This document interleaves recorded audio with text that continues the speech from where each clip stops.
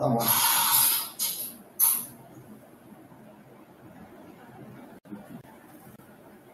Então vamos dar, vamos dar início à defesa pública do Marcelo.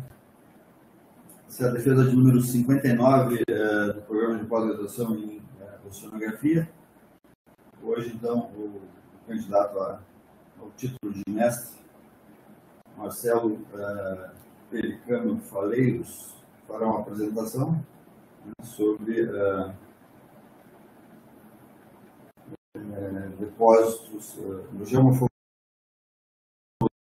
né, de plataforma continental externa Talude, na Bacia de Santos.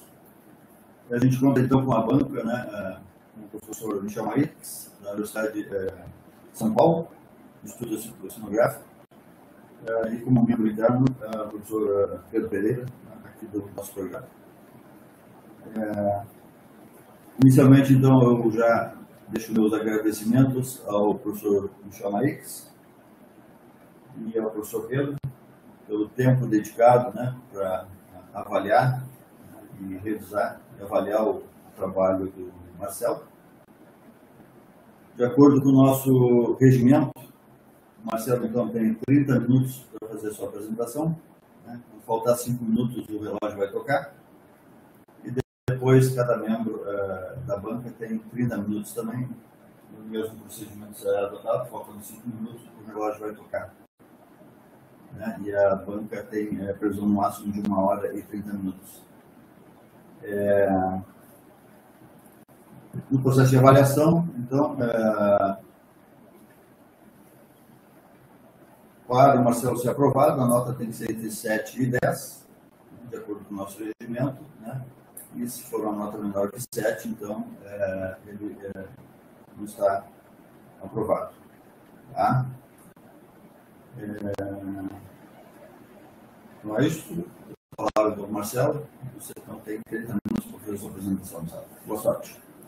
Obrigado, Klein. É, primeiramente, eu gostaria de agradecer a banca, ao professor Pedro e ao professor Michel.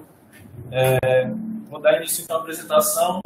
Sou Marcelo Pelicano, orientado pelo professor Klein, e hoje eu venho trazer o tema é, da minha defesa de mestrado, que é a discussão sobre os limites fisiográficos de um depósito contornítico na Bacia de Santos. É, o meu trabalho está dividido em motivações, onde eu vou falar sobre os contornitos, sobre a geomorfologia. Em seguida, eu vou falar dos objetivos, vou trazer um pouco da área de estudo, um pouco da configuração da Bacia de Santos.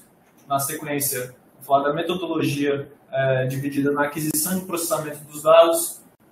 É, é, na sequência, vou falar dos resultados das sessões sísmicas e das malhas batimétricas. E, por fim, vou concluir o trabalho.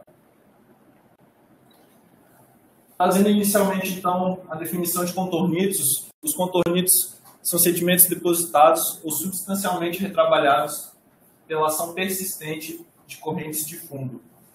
Isso, para a indústria de óleo e gás, é super importante, porque eles são é, afetam a geometria e a qualidade dos reservatórios, bem como também é, a distribuição das rochas selantes. E as correntes oceânicas, elas são fundamentais é, para a ocorrência dos contornitos, já que a, a, a circulação termoalina é, faz parte do, do sistema do, das correntes de fundo. Espera aí. Deixa eu só colocar o pointer.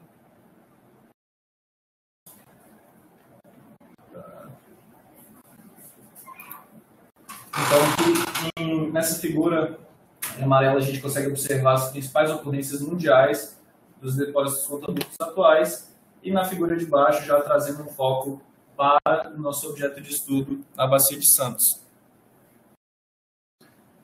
Também trazer é, a diferença entre processos gravitacionais e processos longitudinais. Os processos gravitacionais, os mais comuns são as correntes de turbidez, que são é, eventos turbulentos, intensos e de, curta duração, de curta duração, onde eu chamo a atenção justamente para os sedimentos em suspensão. Então, quando o processo da corrente de turbidez é cessado e esse sedimento de suspensão atinge uma corrente oceânica que vai transportá-lo, enfim, a gente tem o processo longitudinal uh, que a gente pode caracterizar como contornido. Essa figura é uma imagem sísmica retirada do trabalho de Marrix, onde a gente tem a presença né, nessa imagem de cima da corrente do Brasil, da corrente de contorno intermediário e da corrente de contorno profundo, fluindo opostas entre si.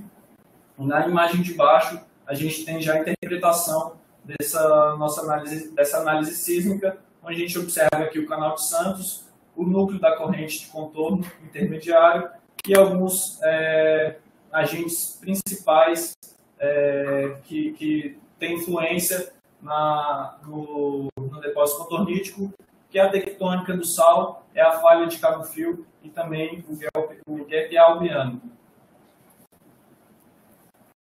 Trabalhos é, que foram desenvolvidos no, na Bacia de Santos, referentes aos taludes, são os mais recentes, são de Dutra e do Dias de 2016, onde Dias de 2016 ele é, construiu um modelo desde a plataforma continental até o talude inferior, é, definindo as principais ah, formas observada, observadas em subsuperfície, como é, ondas de segmento, pockmarks, canais contorníticos e os drifts contorníticos. Uma alteração que eu vou mostrar, uma sugestão que eu faria nesse modelo seria abrir, é, fazer passagens dentro desses é, drifts contorníticos, como eu vou mostrar nos meus dados. Já o trabalho de Dutra 2019 é um trabalho que retrata a evolução do depósito contornítico, onde ela mapeou seis eixos do, do canal contornítico de Santos e é, esses seis eixos em locais diferentes. Então a gente também tem a compreensão de que a corrente ela, ela mudou, na, ela teve uma variação espaço-temporal. Essa outra figura de Dutra é um, é, corrobora também com o meu trabalho, justamente por estar aqui na, é, no Alto de Cabo Frio, onde ela discute a ampliação do limite do canal contornístico de Santos 50 quilômetros é, além do que foi proposto por Duarte Viana em 2007. E aqui ela traz é, em superfície todos os eixos é, do canal até o, o, o presente, do, do, pretérito para o presente, os seis eixos mapeados do canal. Tratando agora da geomorfologia, eu gosto de trazer um pouco da definição do que é a geomorfologia. Geo seria terra, morfo, forma, e logia é o estudo, então seria o estudo da forma da terra, onde Zembrusque, em 1979, foi precursor na descrição da, fisiográfica da Bacia de Santos. Ele definiu as principais províncias, que foi a plataforma continental, o talude continental e o platô de São Paulo. É, eu chamo a atenção dessa frase seguinte aqui, que as formas de leito são importantes para a reconstrução da velocidade da corrente de fundo, justamente baseado nesse gráfico, onde a gente consegue observar no eixo Y a velocidade do fluxo pela, pelo tamanho do grão. Então, a gente é, consegue observar é, suaves de caráter erosivo. É, eu, destaco que as ondas de areia e os, os, as características do tipo suco, que for, são feições que a gente vai observar nos resultados. Então, é, os objetivos do trabalho é analisar e espacializar as principais formas de leito associadas ao depósito contornístico do Canal de Santos, que representem indicativos de sua natureza, controle e evolução a partir de resultados em superfície, mapas batimétricos e subsuperfícies, ecocaráter, ecocaráteres, os possíveis limites fisiográficos do canal. Os objetivos específicos são classificar e espacializar as impressões atuais das estruturas sedimentares, erosivas e ou deposicionais nas malhas batimétricas e os ecocaráteres ao longo, dos, da, ao longo do, do canal de Santos, e dimensionar as formas de leito observadas nas malhas batimétricas e nas seções sísmicas. As perguntas de pesquisa são: quais são as dimensões das estruturas sedimentares identificadas ao longo do depósito contorrítico de Santos quais são os controles que podem estar associados ao depósito? Na sequência, é, falando um pouco da área de estudo, a Bacia de Santos ela tem uma área de 350 mil quilômetros quadrados. Ela é limitada na, ela é limitada na parte do continente é, na, é, pela Serra do Mar, na parte leste ela é limitada pelo Platô de São Paulo, a nordeste ela faz divisa com a bacia de, de Campos e é limitada pelo Alto de Cabo Frio, e a sudoeste ela é limitada é, pelo Alto de Florianópolis é, e divide a bacia de Santos e bacia de Pelotas. A configuração interna, a configuração da bacia de Santos, falando especificamente do canal é, de Santos, ele na sua porção nor noroeste ele é mais largo e menos profundo, sendo que na sua porção sudoeste ele é mais profundo e menos largo. É, e a morfologia da bacia, a partir de, de mais ou menos 1.800 metros de profundidade, ela já sofre uma influência da, do, dos movimentos do sal da, da bem como seu erguimento e deformação dos sedimentos mais rasos. A figura abaixo também é um modelo é, descrito por Silveira e colaboradores, onde a gente tem a corrente do Brasil fluindo para sudoeste, a corrente de contorno intermediário fluindo, fluindo para nordeste e a corrente de contorno profunda fluindo para sudoeste também. Falando da metodologia, é, foram utilizados dois tipos de dados geofísicos, foram utilizados é, é, a batimetria multifeixe, a batimetria Leplac também, onde a batimetria multifeixe está dividida nessas duas áreas em laranja e os dados de sísmica monocanal com a fonte do tipo STIRP é, nas separadas em vermelho e em roxo, justamente por conta é, das duas campanhas é, que foram a aquisição dos dados. É, a primeira campanha em 2019 eu utilizei 266 quilômetros dos dados de chip e na campanha de 2021 eu utilizei 1.466 km de dados de multibeam e 387 km de dados de chip. Isso foi coletado a bordo do navio Alpha Crucis, do Instituto Oceanográfico é, da Universidade de São Paulo, onde os sensores ficavam a, no casco do navio. Então, esse, esse aqui é o sensor de chip, 3.000 kHz, da Knudsen. Esse aqui é o Multibeam é, 8160 da Horizon. E a bordo, dentro do Convés, a gente tinha uma roseta que foi acoplado um, um defilador de velocidade do som, onde a gente obtinha, é, coletava os perfis de velocidade do som na coluna d'água. É, agora, tratando do processamento dos dados de sísmica, é, os dados tanto de 2019 passaram pelo, pelo mesmo processamento, onde a primeira observação era se o dado que possuía ruído do tipo swell, ou seja, na primeira chegada ele é, tinha ondulações. E aí, com base na periodicidade dessas ondulações, a gente aplicava o filtro swell. Caso contrário, a gente aplicava o filtro passa-banda para remover frequências indesejadas é, com conteúdos de altos conteúdos de ruído. Na sequência, foi aplicado o ganho AGC para normalizar as frequências dos traços do, dos sinais sísmicos e, enfim, é, poder identificar os ecocaráteres. Depois foi é, espacializado os ecocaráteres, enfim, possível a interpretação dos dados.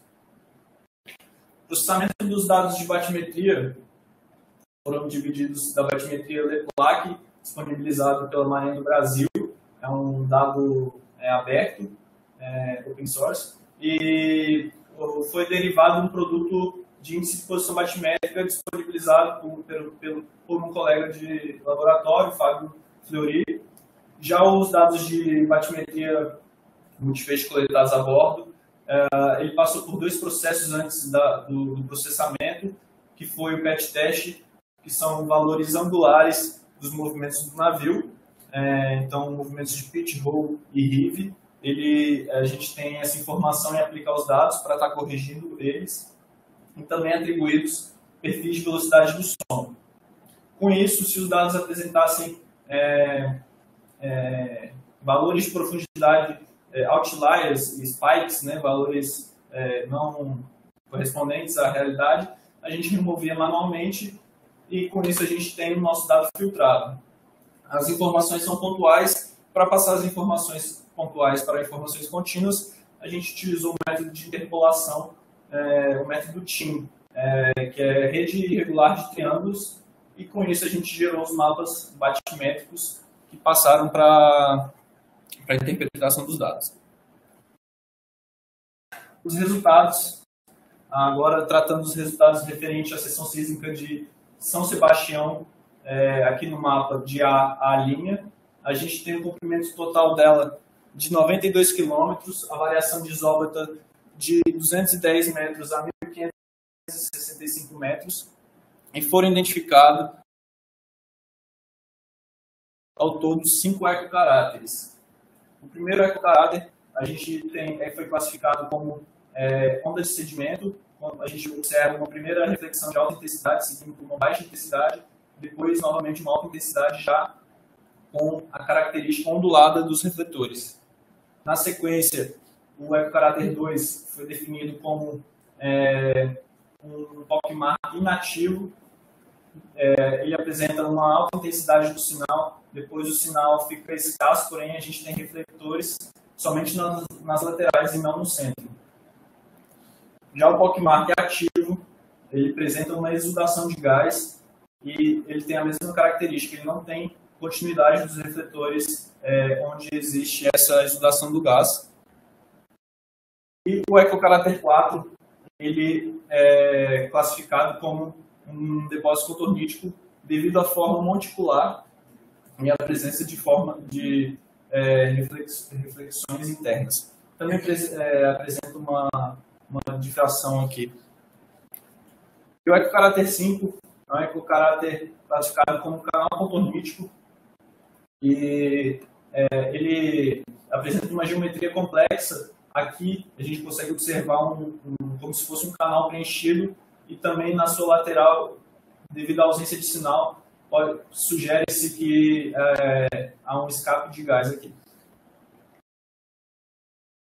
A seção referente a Sepetiba 1, é, aqui no mapa de B, a belinha, ela tem um comprimento de 110 km, variação de isóbatas de 165 a 1812 metros, e foram classificados dois ecocaráteres, os ecocaráteres 6 e os ecocaráteres 7, que são classificados como canais contorníticos. O que difere entre eles é que no ecocaráter 6 a gente observa reflexões é, intercaladas, é, presença de difrações. Já no ecocaráter 7 a gente não observa é, tantas reflexões assim, mas a gente observa a presença de pequenos montículos contorníticos aqui. A seção referente agora a Sepetiba 2, descrito no mapa como CC', é, tem um comprimento total de 98 quilômetros, é, a variação de isóbata de 150 metros a 1783, e foram classificados quatro ecocaráteres. O ecocaráter 8 ele foi classificado como uma expressão do drift contornítico visto a expressão, visto a forma monticular uh, observada, mesmo estando próximo ao talude superior, e também ele apresenta uma exudação de gás. Já o ecocaráter 9 ele está presente no talude médio, presença, é, classificado como um canal contornítico e tem a presença de ruídos, porém a gente consegue observar refletores é, intercalados é, nessa região. Os ecocaracteres 10 e 11 são classificados como é, drift, expressão do drift contornítico, como, com as formas monticulares, e diferem entre si apenas que o ecocaráter 11 é, apresenta reflexões internas, já o 10 não apresenta reflexões internas, e algo em comum entre eles é a presença dessa difração. os resultados referentes à seção de Guanabara, a linha mais ao a nordeste do Canal de Santos, ela tem um comprimento de 84 quilômetros, variação das isóbatas de 238 a 1.689 metros, e tem a penetração do sinal variando aí de 60 a 70 metros. O Eco Caráter 12 ele é classificado como um POCMark ativo, da mesma forma como os, os demais classificados como POCMark ativo. Ele representa refletores em suas laterais, porém no, no, seu meio ele tem ausência do sinal justamente por conta da exudação de gás. Esse gás atinge a altura aproximadamente de 10 metros de altura. É, já o Eco Caráter 13, assim como corroborando ali com, com a explicação do Dias 2016, ele, apresenta, ele é classificado como canal contornítico, porém ele não é tão é, bem encaixado, ele já tem uma é, largura maior, o dado aqui ele está um pouco mais ruidoso, mas ainda assim a gente consegue é, observar refletores. Agora, tratando da sessão sísmica referente à campanha de 2019, é, denominada é, Canal de Santos 1, mostrada aqui no mapa de E-linha, a gente tem um comprimento total de 68 quilômetros, variação de isóbata é, entre aproximadamente 200 e 1.600 metros, com a presença, mais uma vez, de ondas de sedimentos, também com o mesmo padrão de alta, baixa reflexão, e depois uma alta reflexão com, com um padrão ondulado, e ele se estende é, ao longo do perfil cerca de 30 metros, ou 30 quilômetros, desculpa. É, o Ecocaráter 15 ele é classificado como um Pockmark inativo, é, também ele possui o mesmo padrão de alta reflexão e não tem a continuidade né, na sua, no seu centro. Ele se estende ao longo de 9 quilômetros. Já o Ecocaráter 16, classificado como Pockmark ativo, ele também possui é, uma exudação de gás com altura de aproximadamente 46 metros e não possui, é classificado como um depósito sedimentar é, com as, as reflexões, os refletores plano paralelos e ele tem uma extensão lateral de aproximadamente 21 km. A seção sísmica agora, FF' é a mais a seção mais profunda do trabalho, é, onde já sofre influência do, da lucinese, né, dos movimentos do sal. O, a seção ela tem 91 km de extensão e variação de órbitas de aproximadamente 1.450 a 2.200 metros de profundidade. O Eco Caráter 18 ele é classificado como um canal contornítico.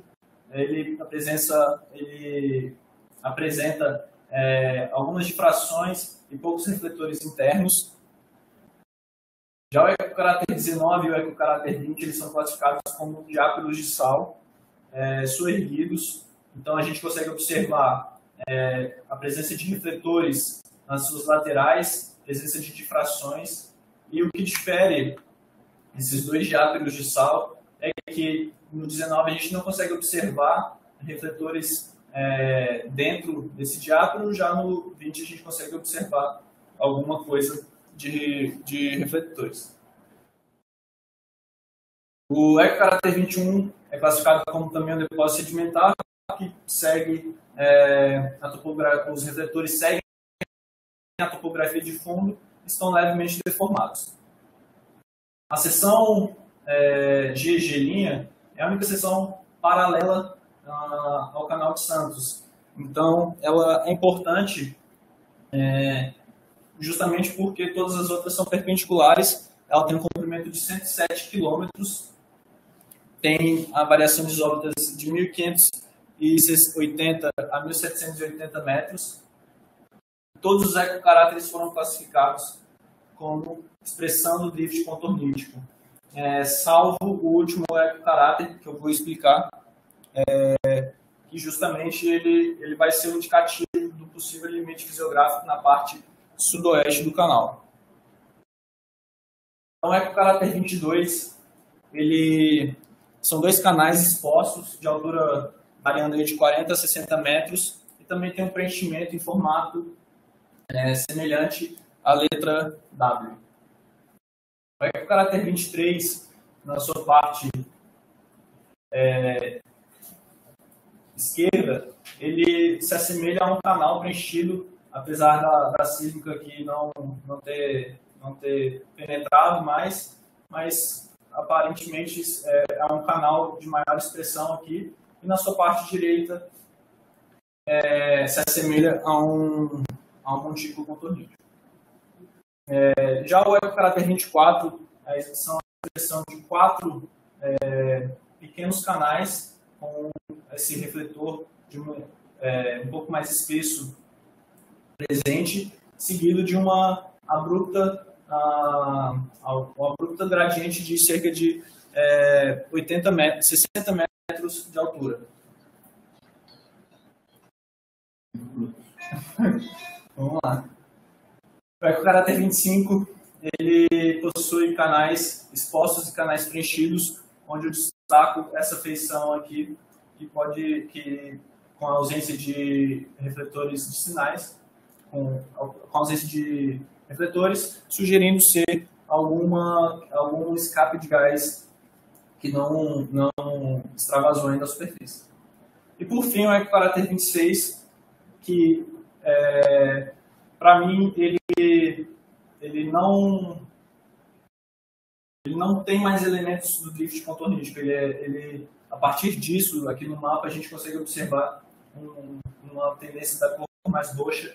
Então, a, seguindo para a descrição das malhas batimétricas, é como se fosse uma metáfora, o canal está desaguando num, num, lado, né? É, isso seria a, é, a sugestão para o limite fisiográfico da porção sudoeste. Então, no mapa é, está aqui, esse grid, esse grid de batimetria. A área total, tanto dessa grade quanto da, da outra, é, tem uma área de 2.400 km quadrados mapeados. Essa área sudoeste ela tem 948 km quadrados e a variação de isóbatas de 917 a 1.565 metros. É, ela está disposta no talude médio e no talude inferior, onde em A a gente consegue observar feições de caráter erosivo é, do tipo sulcos, com tendências ME, e é, a gente tem a ocorrência de aproximadamente 10 feições desse tipo, com dimensões variando de 1 a 2 km. Em B, a gente tem feições circulares que sugerem epoch markets. A gente tem é, de 4 a 5 expressões nessa aqui no nosso, a nossa malha batimétrica, com dimensões variando de 0,3 a 0. A gente tem ah, canais alongados em formas de arcos. A gente tem aproximadamente três expressões de arcos é, de, desses canais. A profundidade desses canais é similar do canal principal, com dimensões variando de 2 a 4 quilômetros. A malha batimétrica agora da área nordeste, aqui, no, aqui no mapa, ela tem 1.450 quilômetros quadrados, variação de isóbatas de 141 metros a 1.801 metros, onde em A a gente consegue observar sistema de canais e submarinos, e em B a gente consegue observar uh, movimentos de massa. Agora trazendo o compilado dos resultados, que seria a espacialização de todas essas feições, tanto é, então aqui em roxo, meio rosado, é, está o canal de Santos, em azul o drift de Santos, em amarelo os pockmarks ativos com exudação de gás, em laranja e roxo ah, os pockmarks inativos e sedimentos respectivamente. Por fim, eu sobrepus a batimetria com ah, as duas malhas batimétricas com a, a, a separação do talude é, superior, médio e inferior e aqui é o compilado dos principais das principais ecocaráteres classificados do trabalho, que foram ondas de sedimentos pockmarks, é, canal contornítico e drift contornítico. As conclusões do trabalho, é, baseadas nas perguntas, se eu conseguir responder as perguntas de pesquisa ou não, ah, falam, concluem que as dimensões observadas dos ecocaráteres variam na escala métrica a quilométrica e as formas de fundo observadas na batimetria têm escala quilométrica.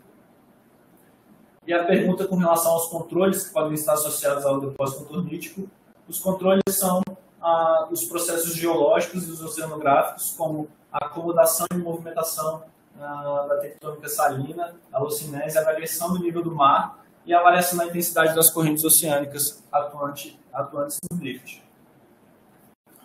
Os objetivos, de, os objetivos desculpa, as conclusões então foram é, conseguir classificar, analisar e espacializar quatro tipos morfológicos de ecocaráteres, que foram as ondas de sedimentos, os pockmarks, os canais contorníticos e os drifts contorníticos, e os tamanhos das formas é, identificadas nas batimetrias é, tamanhos e as formas identificadas foram sulcos, canais alongados e padrões circulares, com dimensões variando de 0,3 a 12 km aproximadamente. Na batimetria da área Nordeste, é, foram identificados sistemas de canais e cânions submarinos e movimentos de massa, com dimensões variando de 6 a 20 km. Por fim, foi, o trabalho conseguiu delimitar é, na parte sudoeste do canal de Santos, a sua desembocadura do canal a partir dos dados de sísmica e batimetria. Entretanto, na, no limite nordeste do canal de Santos, o sistema de cânions e movimentos de massa, apesar é, de, de, ser um dado riquíssimo, as informações do trabalho não são suficientes para afirmar que ali é, é, ali é a nascente do canal Cotornismo dos Santos. E muito obrigado. Eu agradeço ao projeto que eu estive envolvido, Sismo Oceanográfico. Agradeço ao UFSC, ao UFSC, ao programa. Agradeço a todos os presentes e agradeço ao Klein. É isso. Obrigado pela emoção. Temos o prazo.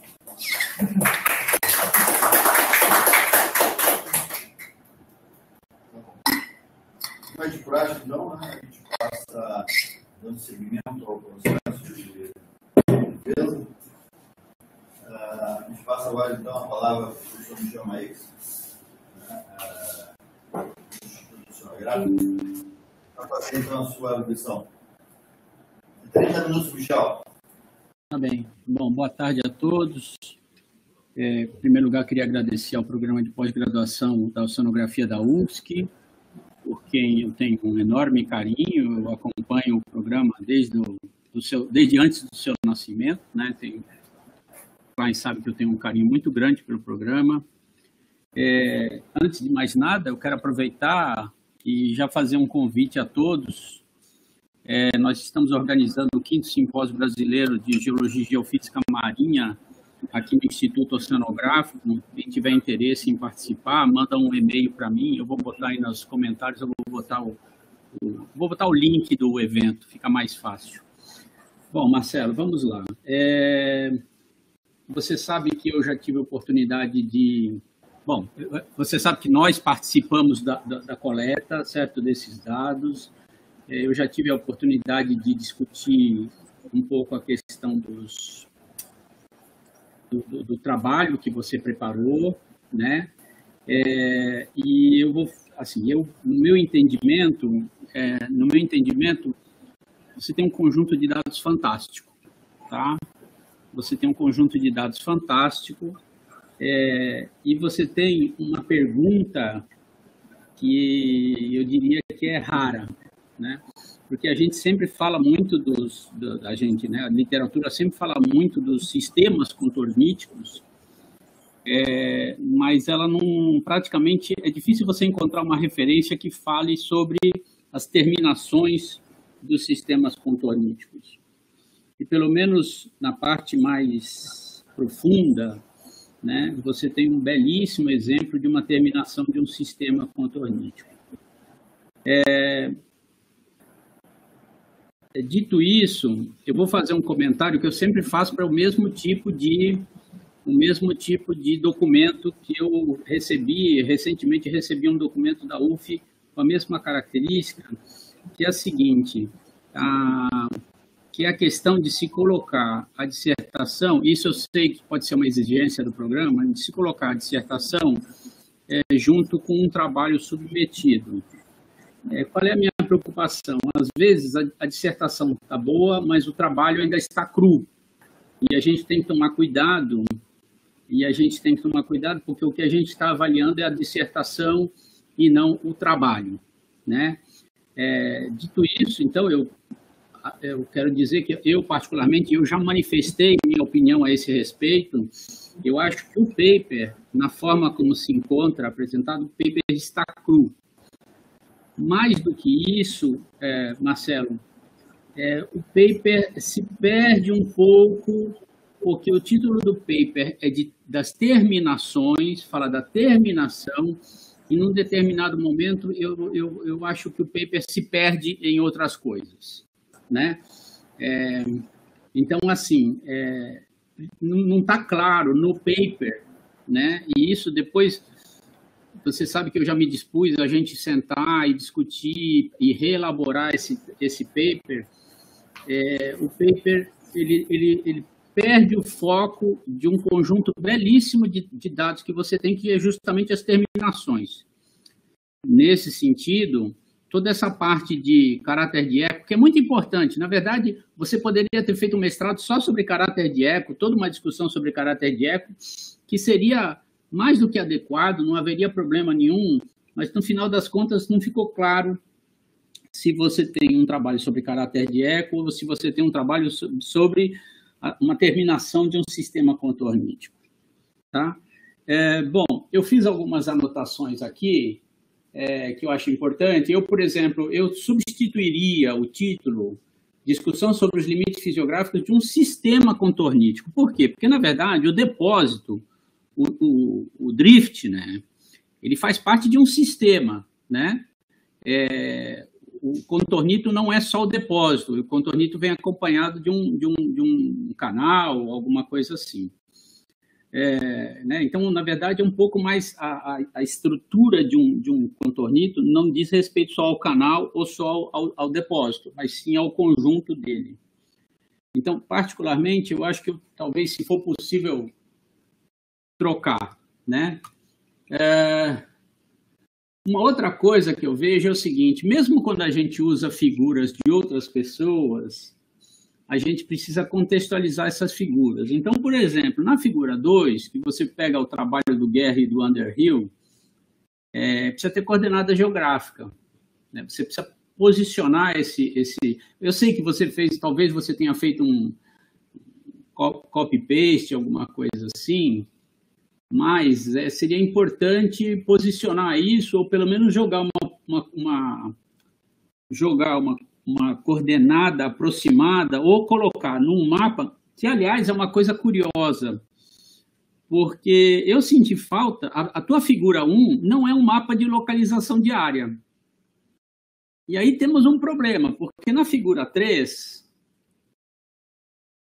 na figura 3, que é, na verdade, é, é uma, uma cópia de um paper que eu sou autor e não está citado, né? Você não cita que, esse, que essa figura foi extraída de um trabalho meu na Marine Geology. Você diz assim, localização na figura 1. Mas eu vou na figura 1 e a figura 1 é um modelo esquemático. Depois eu acabei descobrindo que essa figura 1 é a figura 1 do paper, lá na frente. Então você remete para uma figura posterior uma informação anterior. É, então, assim, você diz assim, ah, está na, na FIG 1, mas a FIG 1 não é a figura 1. Porque você tem figura 1 e FIG 1. E aí eu realmente fiquei bastante confuso. Né? É, algumas coisas que eu senti falta também, quando você, por exemplo, deixa eu ver aqui. Quando você fala assim em é, na, ainda na figura 2, palio, corrente Palio Brasil, né, o Palio Brasil Current, alguma coisa assim, é, eu fui atrás eu fui atrás dessa, dessa denominação, e essa denominação ela é anterior ao trabalho do, do Arte Viana. Então, às vezes é importante é, a gente buscar qual é a. E, e, na verdade, nem tem muita referência bibliográfica sobre isso. Então, às vezes, é importante que a gente busque na, é, na literatura qual é a, a definição original. É, por exemplo, o fato de, vou dar um exemplo bem, bem grosseiro. O fato de eu citar a diâmetro médio, ou, por exemplo, o fato de eu usar, sei lá, diâmetro médio, é, não quer dizer que tenha sido eu que defini. Foi alguém lá atrás, Wentworth ou Folkward ou quem quer que seja. Então, às vezes, a gente pega a última referência que a gente encontrou, quando, na verdade, a origem dessa referência é mais antiga. Né? Aí eu vou. Você quer falar alguma coisa? Fica à vontade, tá, Marcelo? Eu, eu, eu, senão eu vou ficar falando aqui, tá? Alô? Tem alguém aí? Ou eu estou falando sozinho? Não, estamos te escutando. É, tá pode seguir, Michel. É que está mutado para melhor, melhor, a gente conseguir te escutar melhor. Tá.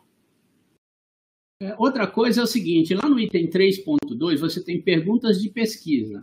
Aí eu vou no seu título. O seu título é Discussão sobre os limites fisiográficos de um depósito contornístico na Bacia de Santos, Brasil. Esse é, só, esse é teu título. Né? Então, veja.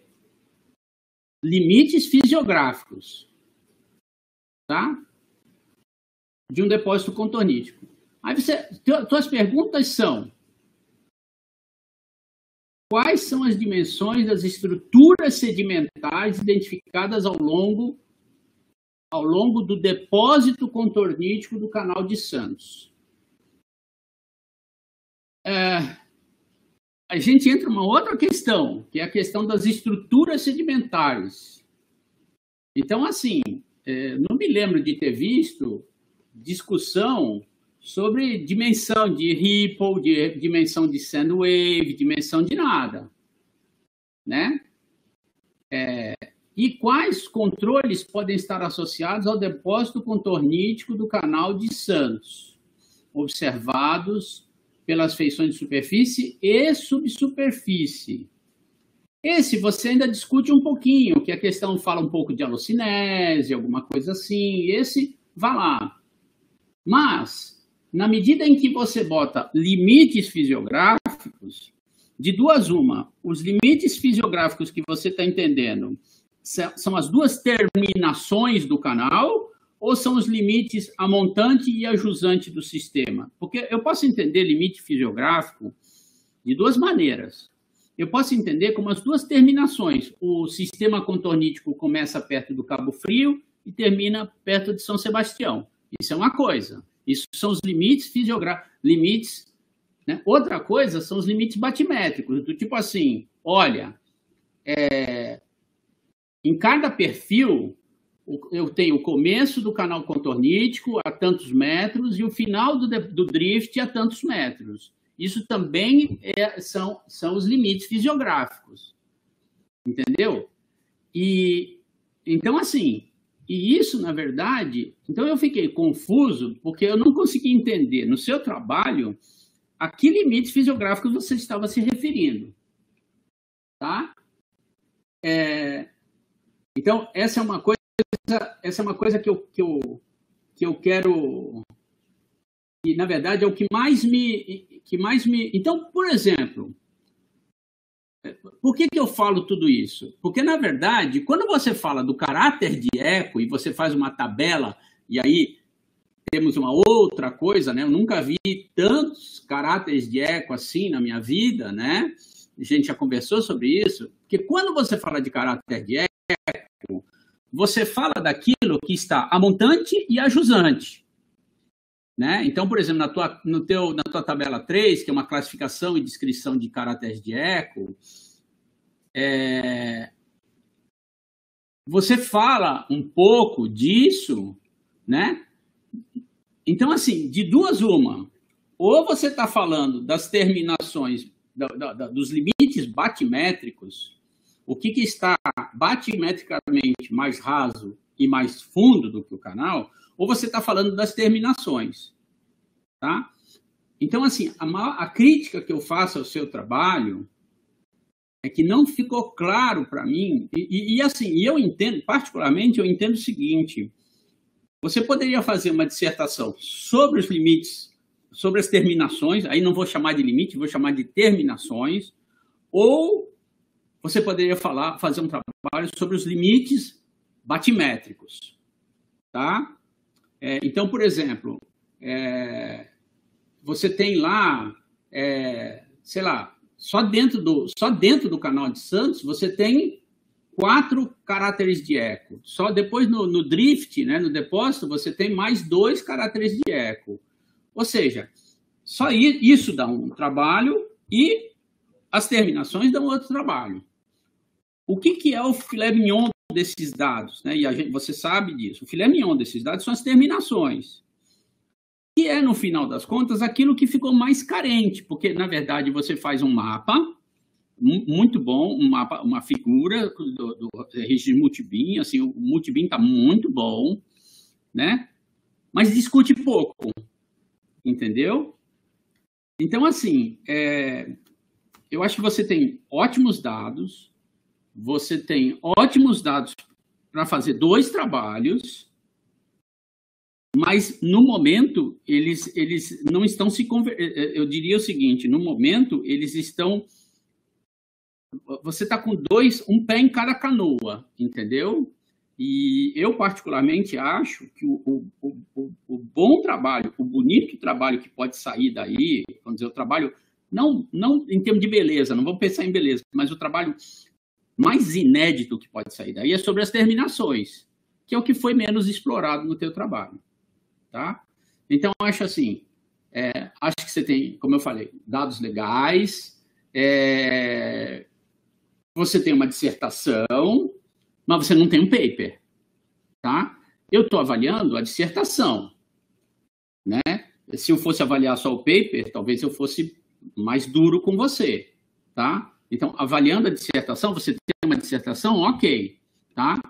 É, mas é importante que você saiba que você não tem um paper, tá bom? Então, assim, eu, é isso que eu tinha para falar, não vou me estender mais. Na verdade, eu já me coloquei à disposição para trabalhar, esse, esse, fazer, fazer contigo e com o Klein esse trabalho, e com o Arthur esse trabalho das terminações. A gente pode dedicar um tempo a essa questão das terminações. Além desses dados de multibin, ainda tem dado de sísmica rasa, né? tem dado de Sherp que a gente pode explorar fazer um belo trabalho sobre as, sobre as terminações. E fora isso, você pode fazer um outro trabalho sobre, sobre essa variação batimétrica, né? essas, essas limites batimétricos é, do sistema. Aí não é do depósito contornítico, é do sistema contornítico. Tá bom? É isso. Obrigado, Marrix. É, eu tem razão, questão do, do paper, assim, é, tem a informação tanto do, do, dos ecocaráteres e do, da batimetria, né? Eu explorei muito mais a questão do, dos ecocaráteres do que realmente das, do, do que é o mais bonito, assim, dos dados batimetria, que são as terminações do canal. Mas fico feliz é, e quero quero sim a sua contribuição para a gente ver essa questão do, do paper e, e tocar essa bola para frente. Te agradeço.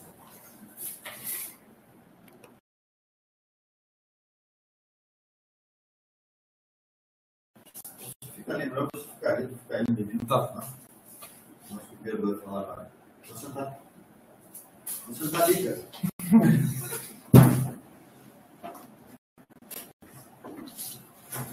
É, a sua, a sua resposta professor Michel né, não me convenceu. Tá? Você ficou em cima do muro, como sempre. Né? E tudo que o Michel te falou, eu espero que tu escute, né? porque eu acho que eu falei quase as mesmas coisas durante esses dois anos. Né? Por exemplo, dos, dos eco-caráteres, você fala aí dois POC markets com legislação e dois POC mártires nativos. Na verdade, não são quatro, são dois. O professor Michel, na pré-banca, na pré-análise do seu documento, ele já tinha falado isso. Aí você não escutou ele. Não teve os 24, 25 caráter, não é, reduziu, né, como ele solicitou. Tá? Só fazendo aí um complemento colocado. Né? É, na sequência, então, né, obrigado, Michel. É, é, pelas colocações. Se você tiver coisas por escrito, né? É, é, é feito revisão do documento, né? Então eu solicito que nos encaminhe para que então isso seja incorporado, seja revisto aí no trabalho. Né? Vou passar então a palavra para o professor Pedro, então ele fazer a sua exposição. Deixa eu deixar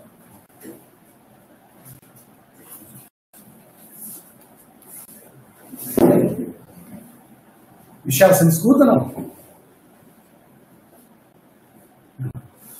Boa tarde. Então, obrigado, Marcelo. Obrigado pelo convite. É... Vamos lá, Marcelo.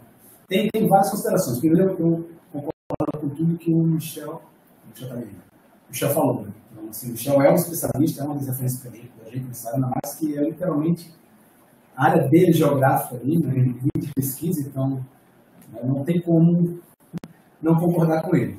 Né? Mesmo a, essa crítica um pouco mais avançada, mas muito elegante, que ele colocou sobre o artigo. Então, sem sombra de dúvida, de acordo com ele. Mas vamos lá, vamos, vamos ir um pouquinho além. Né? É, achei bem legal a apresentação, né? eu acho que essa configuração com essa telinha bonitinha, com essa possibilidade, ficou bem o ponto conseguiu expor né, o seu trabalho melhor até do que está no documento. Então, uma coisa que, para mim, me deixou muito confusa é essa relação entre as duas figuras e que está no texto. Né? A figura que tu mostra as tuas linhas, os teus insetos ali, né? A, a linha, B, B, linha. E aí no texto tu se refere a isso dessa forma. No texto está tudo lá falando assim, né? Sepetiba, canal. Né? Aí quando tu colocou aqui, claro, ficou maior que estava em siglas, né? Quando tu escreve no texto, então aqui eu me achei, mas tem uma diferença entre o texto, né? Uhum. Que, ou seja, a forma como tu expõe teus, teus dados verbalmente, que tu apresentaria na escrita. Tá? O teu referencial teórico de introdução eu gostei, né? porque eu não sou tanto dessa área, sou mais na de homofobia, gostei, mas como você aqui, né, daí me deixa mais confortável, porque é isso que eu quero trazer um pouco. Tá? Nesse sentido é que eu vou estar tá te gerando questões para ti. Tá? Então, primeiro ponto, quando tu vai trazer a geomorfologia que se define como sendo esse estudo das formas, né, é, como é que a gente caracteriza pessoas morfológicas? Baseado em quê?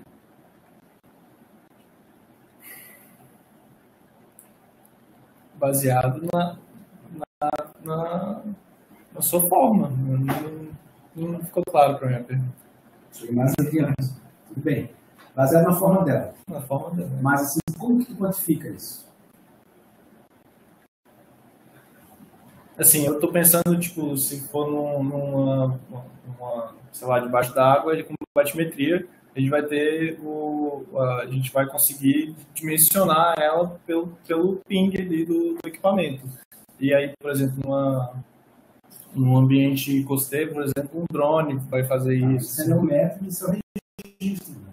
Isso é o registro, o teu dado inicial, mas após isso tem que passar por um tratamento. A discussão não é sobre isso. Sim. E como é que faria isso? Não sei. Tá, tudo bem. Isso está tá claro no teu trabalho.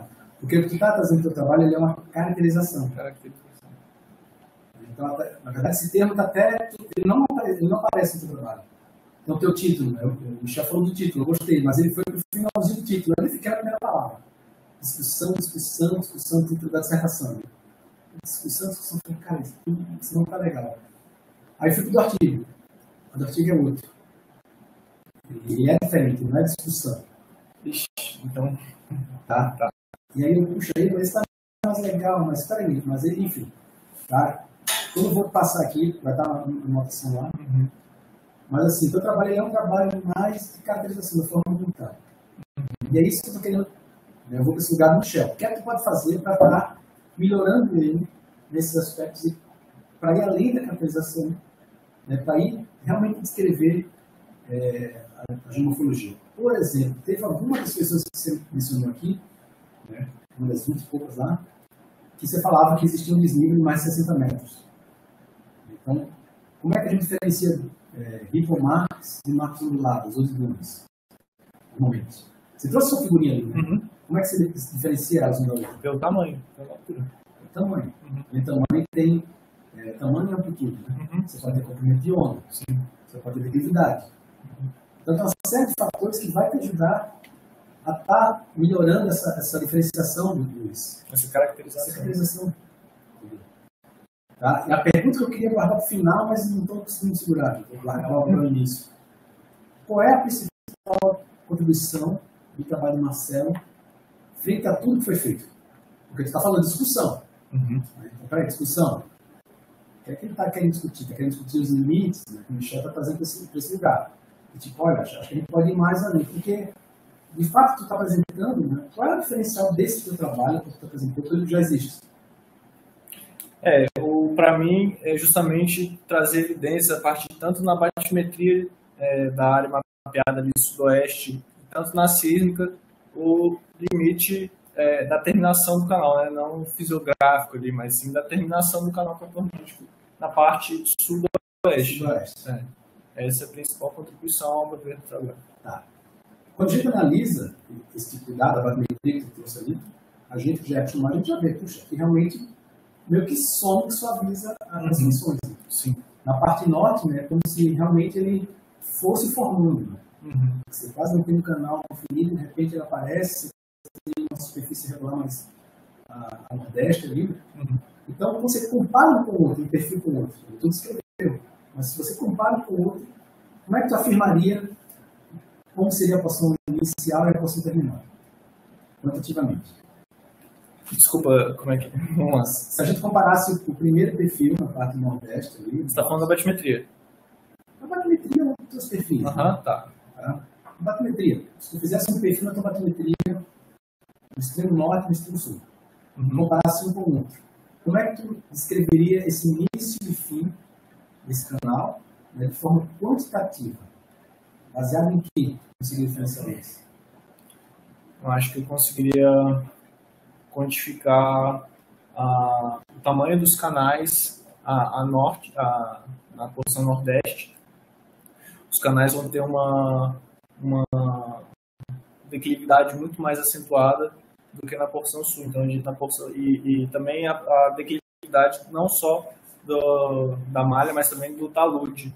É, na porção nordeste ele é mais inclinado e na porção sul ele é mais menos inclinado. Por que, que, ele, que ele se espalha naquele ponto específico da porção sul? O teu canal vem e meio que você usou até um termo, né? Eu acho que eles As nossas imagens. Cadê?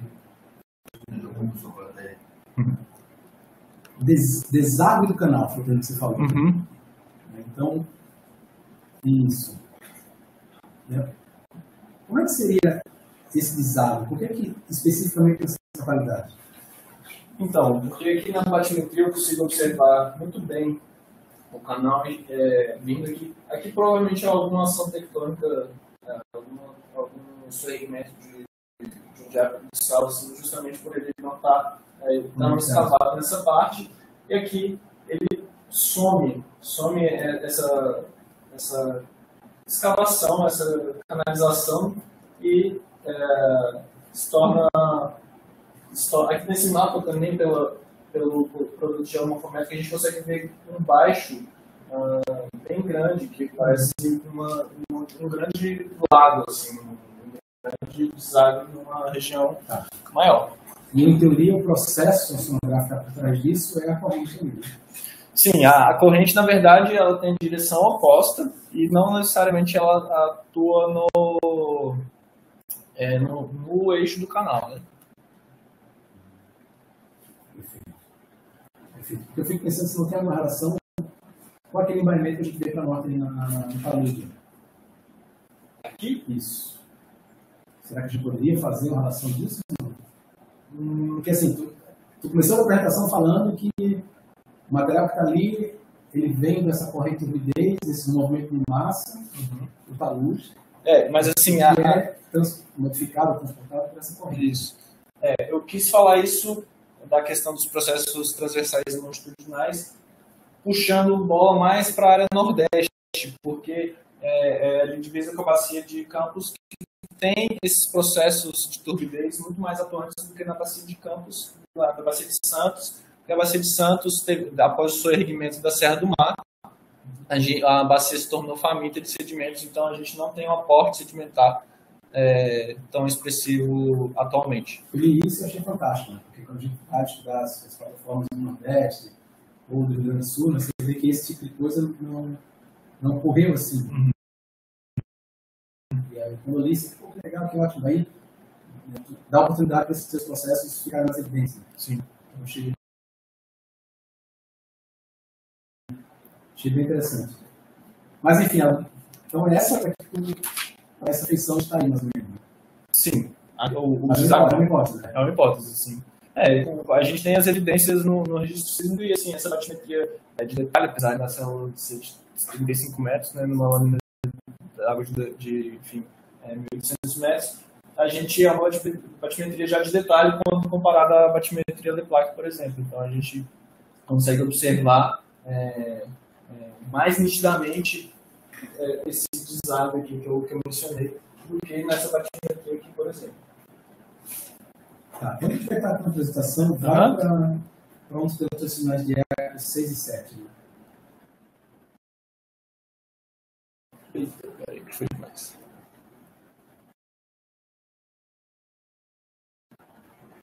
Aqui. Tá. É, nessa figura não está tanto, né, mas assim, eu acho que na, na, na, na segunda figura, que eu acho que na terceira figura da dissertação, né? Uhum. Tá? Tem essa questão que tu. Um, dois, três, aí tu chega no artigo, tu zera de novo, fica um, dois, três de novo, aí no artigo tu faz referência para a planilha de lá.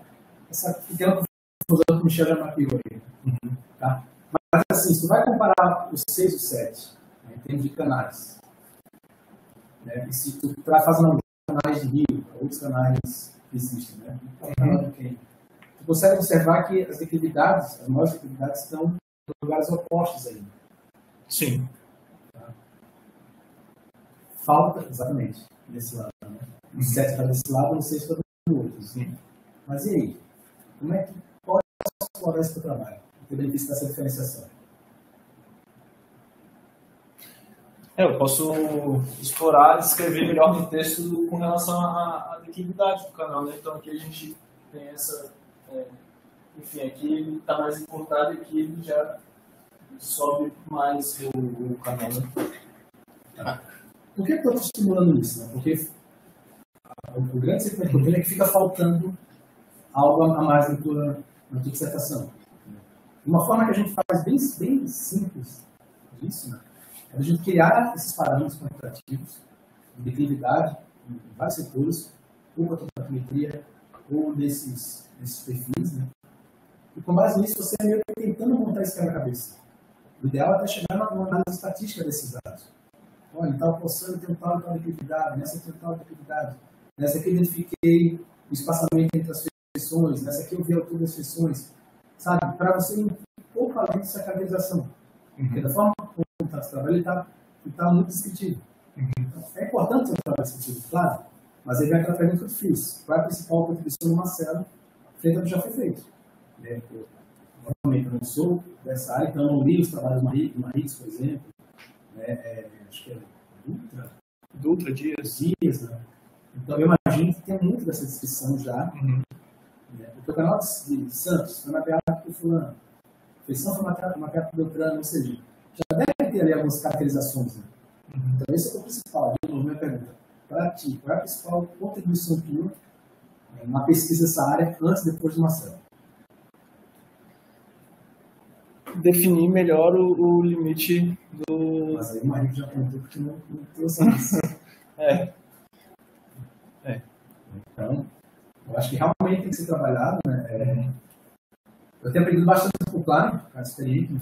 Então, quando a gente vai para esse modo que a gente está aqui de, de, de uma dissertação, de avaliação, já na posição final, fica um pouco chato. Por isso que é bom que o Marix esteve na, na qualificação, e que, puxa, deu contribuição. A gente devia ter ido lá para chegar aqui e estar numa posição melhor do que agora eu estou tendo que repetir tudo dele também. Sabe? A gente poderia estar enriquecendo mais a discussão em termos dos processos, o que eu queria entrar. Então começa com a introdução, é, é, trazendo vários aspectos dos processos oceanográficos para o leitor, que é maravilhoso. Parte de fundamentação teórica, parte que está fazendo os processos, aquilo é enriquecedor. Mas enriquece o leitor, e aí quando chega no teu trabalho, ele está com, conhecimento para te questionar, para te entender o teu trabalho. Né? Só que aí tu enriquece ele, mas tu não. Tu, não, uhum. tu cria expectativa e, e no final acaba de ficar muito superficial. Então, realmente, é, é, vale a pena se dedicar, ver o que você consegue fazer ainda, agora, tendo visto o tempo que, que tem, para estar tá entregando um, produto melhor para a sociedade. É, o artigo foi submetido, mas, assim, é, até uma pergunta que eu tinha, né, por que essa revista? Né? Porque, assim, são dados importantes, uma região importante do ponto de vista econômico, você faz isso, né? E a revista é uma revista nacional tem sua importância, mas eu acho que esses dados, a qualidade dele aonde pode chegar, pode uma revista internacional muito melhor. Aí, por que essa revista? Não, então, é, a questão da revista foi uma, uma problemática. É, enfim, tinha conversado com o Klein e aí a gente ia fazendo uma, uma revista, só que eu não me atentei a quais da revista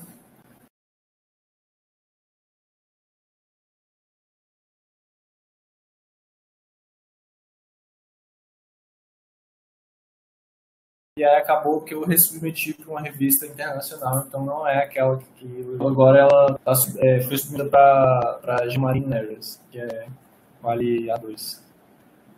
Não, e é uma revista mais especializada na área. É.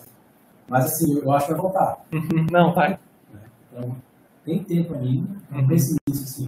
Ah, eu estou me apresentando, estou livrando. Não, cara, a gente tem uma responsabilidade de dar um retorno. Né? Para a ciência mesmo, para os fomento, do jeito que o projeto vai estar inserido. Quantos colegas vocês conhecem um dado desse? Quantas universidades no país conhecem um dado desse? São vários. Então, assim, tem que essa, essa responsabilidade de dar uma divertida em bom Entendo que a vida anda, entendo que cada um tem suas. Mas, assim, tem essa importância também social da gente que tem que dar essa devolutiva né, para os órgãos, para o orientador, para o programa, para todo mundo. Sim. Tá? É, isso é o que eu tinha notado, né, assim, digamos, na sua apresentação. Tenho um monte de coisa, de detalhezinhos na tua apresentação em, em si. Vou estar te mostrando, vou estar te mandando isso. Uhum. Tá? Eu só queria, né, cada que a pessoa tem que procurar um pouco aqui quando vem com meio.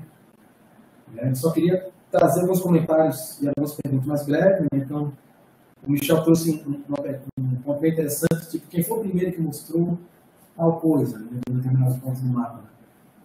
E é importante você trazer quem foi essa pessoa de fato que fez isso. Logo no início tem uma, tem uma referência que tu faz, tu faz a referência em relação ao trabalho da Bruna, quando em 2019. Mas é algo muito, muito básico. Sei lá, bem provável que na década de 70, 80, 60, alguém já tinha falado aquilo. Tem que valorizar o trabalho da casa? Tem, com certeza. Só que é um conhecimento tão básico da questão de depósitos e de, de, de transportes, de fluxo turbulento, que não foi a Bruna que fez aqui. Pode ser que ela tenha apontado aquilo para aqueles dados, para a região dela. Mas vale a pena trazer isso. É, um fato meio que eu sou meio chato em relação é a presença de termos em inglês num documento que é em português. Uhum. Né? Então, tu fala aqui dos depósitos laterais, os leves, né? Os leves. Os leves. Na verdade, como no português diz? Tu sabe? Não. Cara, é DICS. É, é, vários livros de homofologia, né? Que tratam rios, que tratam né, região, enfim, processos que estão em canais, uhum. né, que é um processo de extravasamento. Sim. É um termo que existe em português há, há séculos, então já está usando inglês, né, sabe? Tem vários outros né, termos assim que, que eu aponto aqui, que seria né, importante, né? Está tudo apontado. Tá? Algumas repetições no texto, né? Dá para ver que foi um documento que você se apressou em fazer, em fechar, faltou aquela leitura um pouco mais detalhada, né? tem diferença entre siglas em português, siglas em inglês, né? figuras que, que, não, que não tem eixo, que não tem, enfim, são detalhes. Tá? tá tudo aqui, mas o que é aquilo? É de detalhe, detalhe, o trabalho começa a perder um, uma qualidade essencial. Que também é normal, nessa fase que você quer concluir tudo.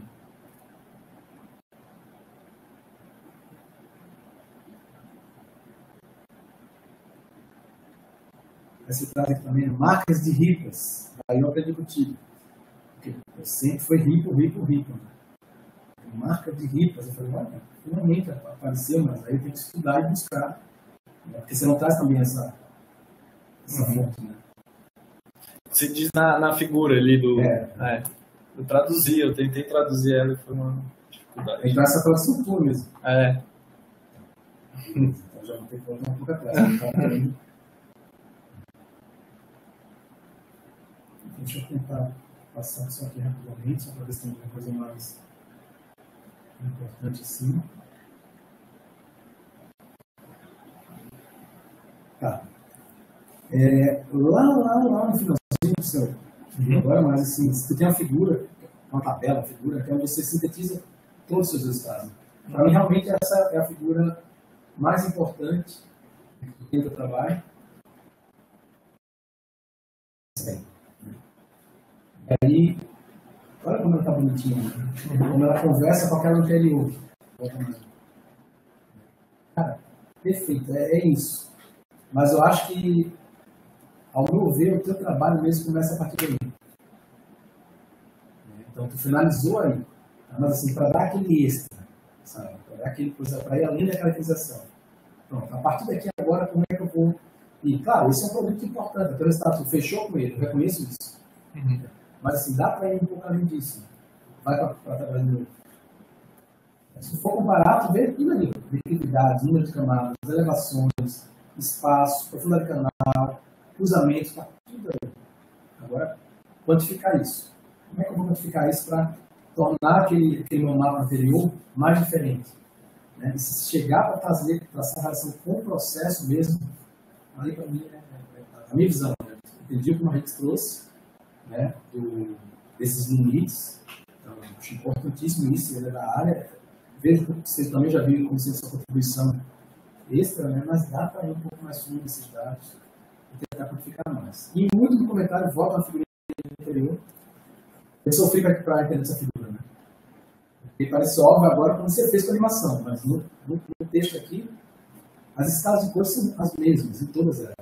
Né? A tomatrimetria, o fundo, dessas duas regiões, né? Então, eu vejo que para deixar mais suave, tem que colocar a tapeteria do fundo com a tonalidade cinza, fica parece. Sem esse produto geomorfométrico. Não, eu acho que essa, esse da descrição uhum. tem que estar dessa forma. Tá. Mas a batimetria de fundo total dela. Uhum. Tem que ver naquele tom de cinza que você apresenta na figura 1. Sim. lembro qual delas. Se é um é. apresentação ou um do artigo. Um da área de estudo. Porque aí vai destacar é, esse, né? de novo, essa eu estou olhando figura assim, que está trazendo o resultado da tua classificação mesmo, uhum. do teu esforço. E aí, dessa forma que ela está apresentada, com essas cores, com isso, sabe? Mim, é... hoje a interpretação ficou clara, porque foi fazendo passo a passo, né? foi pulando. Mas eu parei ali e fiquei um pouco, né? Cara, era isso, só ah, um único pontinho assim, é, não esquecer que todas as figuras têm que ter essa preocupação que as figuras sejam autoexplicativas, né, que a pessoa bata o olho nela e tipo, consiga entender ela com base no que está ali, não tem que ficar correndo para outra figura, não tem que ficar correndo muito para a legenda, que a legenda seja completa. Né? A, legenda tem que estar em sintonia com as outras figuras, então, de novo, os lances do A, a linha, B, B, linha, na figura 1 está tudo lá. Mas depois nas outras não aparece. Aí tem alguma que aparece só os, as siglas, né? 7, canal, mas aí isso não aparece na figura onde deveria estar. Então tem que tomar esse cuidado de ter uma maior conexão entre, entre as partes do trabalho. Tá? Tem mais um, um monte de pontinho, mas vamos ficar por aqui, você vai ter que ficar catando eles na, na, na, dissertação e aí começa a consumir tempo já começa a não gostar, né? perde a fluidez do processo. Mas é isso, agradeço a, você, agradeço ao Cláudio pelo convite. É bom ver né, esses, o resultado desses, desses projetos né, que vocês estão envolvidos, que o laboratório está envolvido, que o está tocando de águas profundas. É, eu acho que realmente, realmente assim, onde eu vejo que é como se a sonografia que eu fizesse, que é a costeira, não fosse a sonografia, né? isso é a sonografia de verdade. Então, eu fico feliz de, estar, de, de poder acompanhar isso, de ver esses dados avançando né? e poder colaborar na medida da, das limitações aí. Tá? Muito obrigado, Pedro. Obrigado pelas contribuições. A clássica. É, Lembro. Vamos lá. É, vamos lá, Marcelo. Então, iniciou a tua, apresentação criticando o trabalho de alguém que publicou ali que estava errado. Aí no final do teu trabalho. Não, como falei, eu complementaria. Não, criticou. tu não mostrou o resultado. Daí. É, o, o, eu vou, vou voltar ali. Peraí que eu ir correndo aqui. Ai. Obrigado pelo, pelas considerações. Não ficou tarde. A gente está. Temos 15 minutos. Aqui no trabalho do Dias, uh, ele, ele mostra os canais. Os... Ah, desculpa. Foi, né? No trabalho do Dias, ele mostra essas expressões do, do DIT é, sendo contínuas.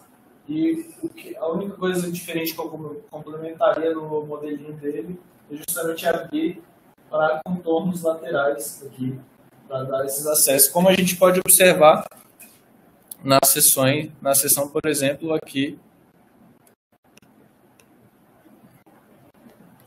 na sessão, nessa aqui. Então, a gente. Ah, desculpa. Ai.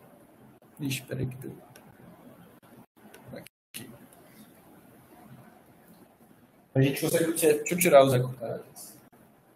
A gente consegue observar todos os extravasantes aqui, esses extravasamentos desse lift aqui.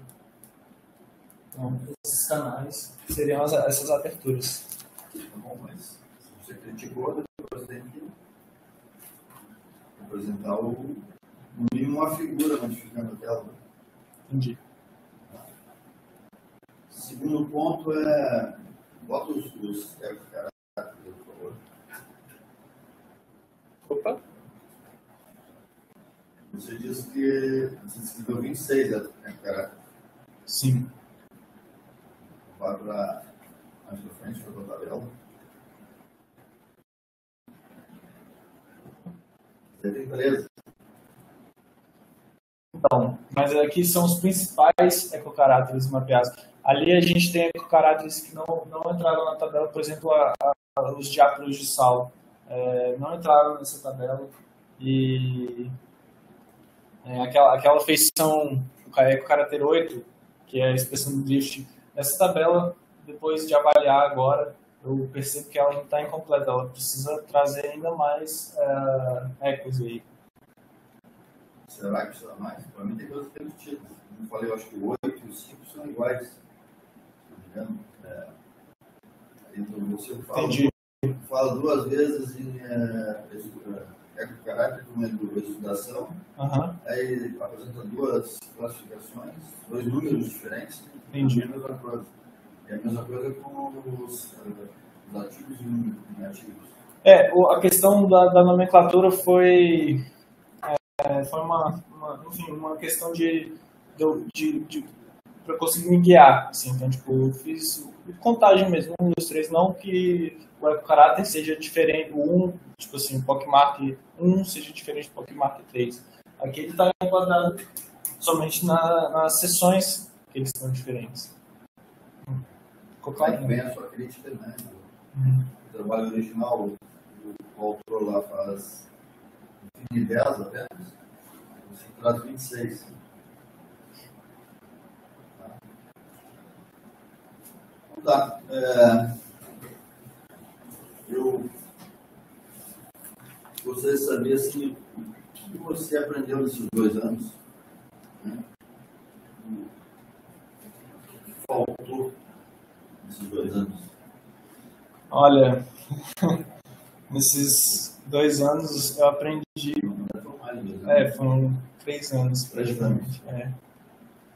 Nesses três anos, enfim, aprendi muita coisa. É, enfim, 2020 para agora eu sou completamente um ser humano diferente, mas em termos, em aspectos de ensino, é, eu aprendi que, que a ciência ela tem, tem que ter dedicação, tem que ter um esforço.